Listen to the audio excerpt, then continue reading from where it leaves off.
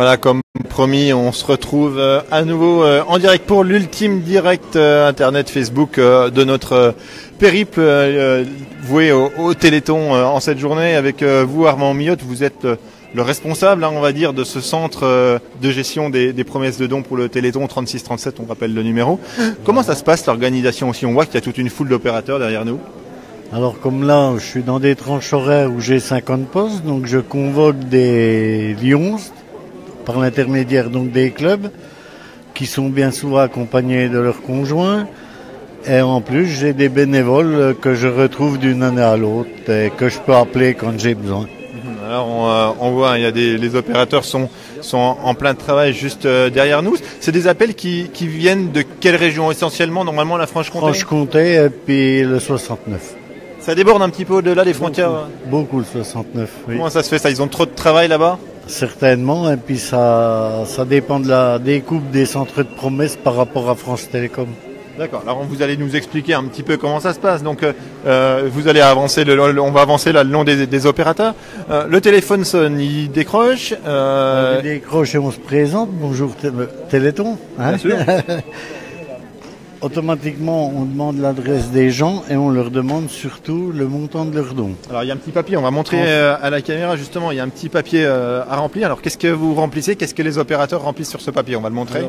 les opérateurs, ils me remplissent, ils me donnent leur numéro de téléphone que je puisse surveiller quand il y a des anomalies. Ici, le jour et l'heure. Ici, la somme que promet le donateur à savoir qu'à partir de 400 euros, il demande le numéro de téléphone parce qu'on fait un contrôle. D'accord. Et ici, bon, bah, c'est l'adresse complète du client. Alors ça, c'est le, le, début du, trajet un petit peu de, de, de, cette euh, enveloppe mystérieuse. On va avancer parce qu'après, cette enveloppe, une fois que l'opérateur téléphonique euh, a rempli ses informations, euh, l'enveloppe est transportée un petit peu plus loin. Alors on vous suit, où est-ce qu'on va? Voilà, elle est transportée ici donc cette équipe-là fait le contrôle entre les noms qui seraient mal écrits, entre euh, la ville puis on n'a pas le code postal ou, c'est des choses qui, nous sautent à l'œil quoi. Quand vous dites on fait le contrôle, on contrôle le nom par exemple pour vérifier que c'est pas un nom ben, bidon.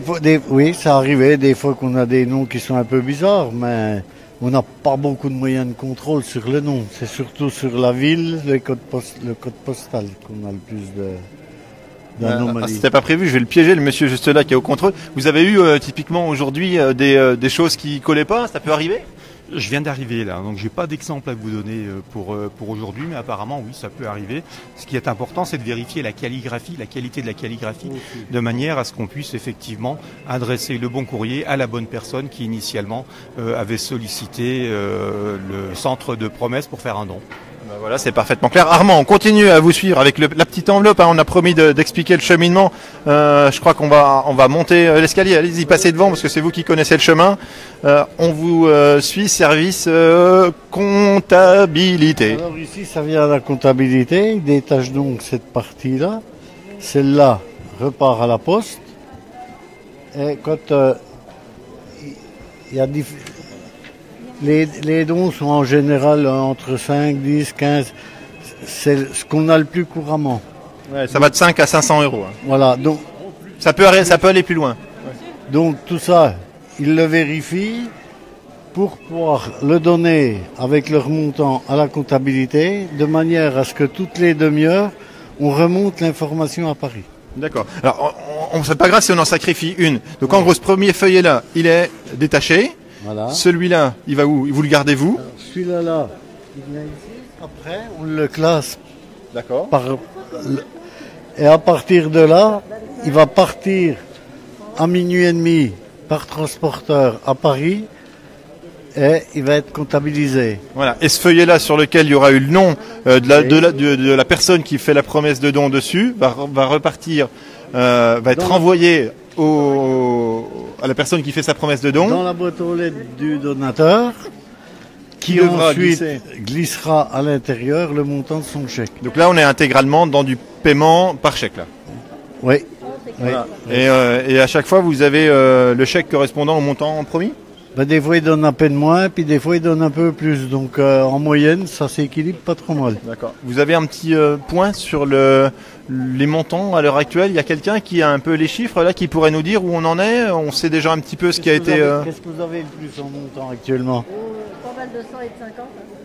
Pas mal de 150, mais sur le total, vous savez déjà Il y a quelqu'un qui le fait, le total.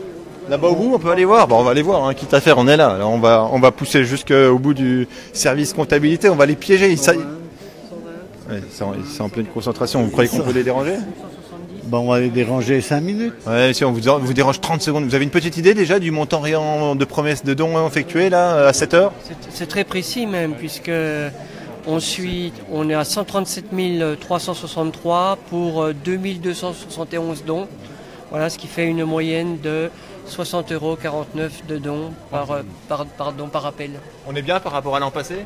Oui, on est, on est bien par rapport à l'an passé, on est un peu mieux même, puisque voilà, un peu de 10% environ. Voilà, mais bon, c'est, ça reste des promesses de dons. Voilà, on espère que les, les généreux donateurs vont confirmer ces promesses. Vraiment, c'est une super nouvelle parce que je crois qu'au niveau national, on n'est pas, c'est pas, c'est pas aussi bon, je crois, au niveau national. hein. On a eu des petits soucis euh, aujourd'hui. On a déjà vécu des années où à 8 heures du, à 20 heures du soir, on est en dessous de la moyenne euh, de l'année d'avant. Puis d'un seul coup, on ne sait pas pourquoi. D'ici minuit, ça, ça grimpe, ça Ça grimpe. grimpe d'un coup. Ouais. Merci Ouais. beaucoup Armand, on vous souhaite bonne, euh, bonne continuation. Vous êtes là jusqu'à quelle heure? On va. Ici, il y a quand même, ici, c'est eux qui font le contrôle quand les dons sont au-delà de 400 euros. Ah, bah alors j'ai une petite question. Au-delà de 400 euros, ça veut dire que là, typiquement, le meilleur, le plus gros don de la journée, c'est combien? Ah, J'ai eu un 800 euros euh, il y a 5 minutes à peine. Et donc je rappelle, euh, je compose les, les 10 chiffres et puis euh, je fais valider avec un, un remerciement chaleureux et sincère. Ah, Bien appuyé ce, ce Oui, don-là. oui. Mais là, c'est la procédure, effectivement. Merci beaucoup. Vous êtes là jusqu'à quelle heure? Indéfini, euh, minuit Minuit. Maybe. Ouais, bah merci, bon courage en tout cas. 36, 37, on rappelle le numéro. Armand, on vous abandonne. On va passer euh, là-bas, on va repasser euh, devant. Là-bas, vous avez un responsable Attention, attention, vous êtes derrière vous. qui s'occupe de tout ce qui est informatique. Oui, on va pas avoir le temps d'aller voir tout le monde parce qu'après, mais par contre, on va venir voir ce monsieur qui nous euh, attend euh, sagement. Je vais reprendre votre nom, votre prénom. Alain Joubert. Alain, euh, je voulais vous, faire parler de, la maladie en tant que telle, toutes ces maladies génétiques. Euh, vous les connaissez bien. Pourquoi vous connaissez bien ce milieu-là? Parce que j'ai dirigé deux établissements où nous recevions des enfants qui étaient atteints de maladies génétiques, myopathie, mucoviscidose, des maladies ne- neurovégétatives. Et donc euh, j'ai été sensibilisé depuis plus de 40 ans. Et avec le Lions Club, nous nous sommes investis immédiatement avec l'AFM euh, depuis 30, euh, plus de 40 ans. Avec une grosse évolution, il faut le dire, grâce au alors, 36-37, grâce au Voilà, Téléthon, il y a eu des progrès, vous pouvez nous en parler Tout à fait, puisque depuis euh, 40 ans maintenant, 30, euh, plus de 30 ans, grâce au Téléthon, nous avons créé donc euh, dans la région parisienne le centre euh, du Généton, hein, où il y a eu une recherche euh, très très importante puisque euh, ont été mises euh, euh, à plat donc tout, toutes les, le travail des généticiens. Et suite à ça, il y a eu ensuite la création donc euh, d'une banque de données qui a été à la disposition de tous les chercheurs. Et donc l'argent du Téléthon permet de financer Et concrètement, des, alors, des équipes, des équipes de recherche. Voilà, c'est ça le concret. On, on finance Oui, des non, mais, équipes, euh, alors, de les équipes de et- recherche, mais sur le terrain, ça se traduit concrètement par des malades qui vivent ah, plus longtemps. Voilà, voilà, maintenant ils vivent plus longtemps. Euh, Quand j'ai commencé ma carrière à 12 ans, malheureusement, entre 12 ans et 15 ans, les adolescents décédés. Actuellement, un myopathe euh, de la maladie de Duchenne, atteint de la maladie de Duchenne, peut vivre actuellement jusqu'à plus de 30 ans. Quoi, hein. Alors, on précise quand même qu'effectivement, le Téléthon, c'est pour, pour la recherche contre les maladies génétiques, pas uniquement la Ah non, myopathie pas- du chêne. bien tout à fait. On travaille sur à peu près 200 maladies génétiques différentes. Bon, au départ, c'était pour la myopathie de Duchenne, mais ça s'est et ça s'est bien bien sûr euh, élargi à d'autres maladies génétiques et qui permettent euh, actuellement nous, de créer. Nous avons créé dans la région parisienne, l'AFM a créé donc une usine qui fabrique des médicaments à prix coûtant et qui sont mis à disposition donc des, des malades. Et également, les premiers effets, les- depuis 4-5 ans, des, des, euh, des- des essais thérapeutiques sont faits. Hein, parce que vous savez que pour faire un essai thérapeutique sur l'humain, on est passé d'abord par les animaux et maintenant, euh, avec l'autorisation donc euh, du ministère de la Santé, certaines, certains essais sont faits sur une dizaine d'adolescents ou d'adultes hein, qui sont atteints, parce qu'il y a aussi Alors, des adultes atteints de maladies génétiques. Vous évoquez ce souci, on va juste en dire un mot parce qu'on le sait depuis ce matin, nous on fait des directs sur le terrain, sur le sur internet, il y a toujours des réactions aussi par rapport à ce 36-37, sur les expérimentations, notamment sur les animaux. C'est quand même fait, il faut le dire, euh, dans le respect euh, des, euh, des, conditions animales. Et, fait. et- et puis il faut se dire qu'on peut être malgré tout concernés tous à tour de rôle et que euh, malheureusement si on veut que ça avance, si on veut euh, gagner des, des années de vie, il, faut Alors- trouver une manière de, Alors, de faire ces tests. effectivement, il y a un grand progrès qui a été fait depuis deux ans. C'est que maintenant, les chercheurs travaillent, peuvent travailler euh, sur le liquide amniotique, donc euh, sur les cellules, directement sur les cellules, ne plus passer par l'animal. Hein, on peut utiliser actuellement. Donc euh, ça, c'est le grand progrès de la recherche des, dernières années. Et, donc ces, unités de recherche qui travaillent hein, euh, sur ces, différents programmes euh, ont des résultats magnifiques. Mais comme vous savez, le Téléthon ramène énormément d'argent, donc il y a énormément de jalousie. Et on par- donc il y a effectivement, mais il faut savoir qu'on ne travaille pas que pour la myopathie. Hein, on travaille à peu près pour entre 200 et 300 maladies génétiques différentes. Un dernier mot, on parle de, de durée de vie qui s'allonge quand on est atteint par ces, euh, par ces maladies euh, génétiques. Est-ce que justement la- les conditions de vieillissement pour les personnes malades s'améliorent aussi? Est-ce qu'on est repousse par exemple la vitesse d'invalidité, j'ai envie de dire?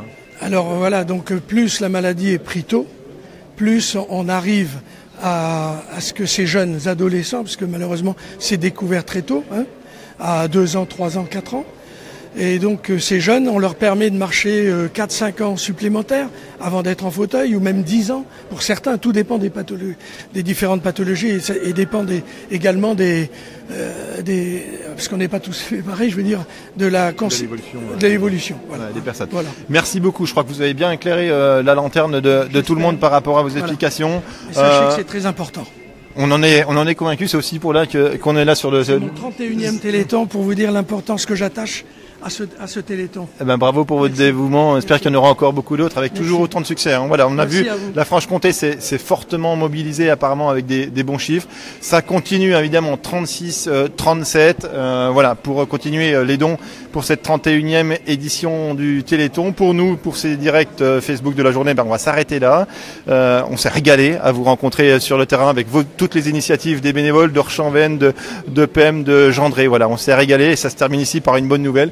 Des bons chiffres ici au centre de promesses de dons du Téléthon de Franche-Comté. Très belle soirée à tous.